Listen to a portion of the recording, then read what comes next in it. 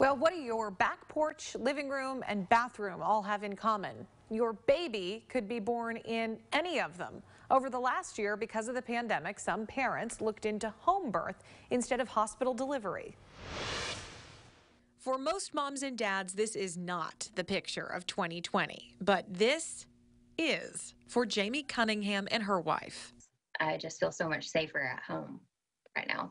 At home, Jamie gave birth it was May, and outside her window, coronavirus had just shut down businesses. Mask mandates were popping up. Hospitals across the country were implementing visitation limits and new protocols. I was certainly, certainly happy to have made that decision, and it really did. Like, it, I felt more empowered that we had chosen uh, a home birth, especially amid a pandemic. Jamie worked with Roots and Wings in Knoxville. A midwife oversaw the birth. Having a baby is often a very fun and exciting time, and people really look forward to it.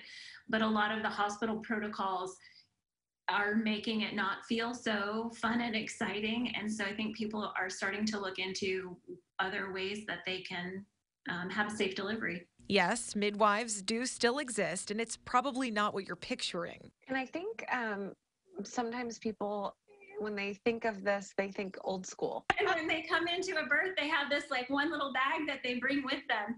And um, we bring so much more than that now. The modern day midwife is trained in all of those same traditional techniques that midwives in years past are known for that natural um, mindset about delivery and birth. But we also have the benefit of modern medicine. According to the Mayo Clinic, home births are associated with a higher rate of infant death. The midwife says her skills can reduce that risk. The CDC reports just under 1% of births in America happen at home. Because of the pandemic, that number could go up. Our belief is that birth is a normal physiological process, that your body is made to be pregnant and carry a baby and deliver a baby, and that your baby is made to be born.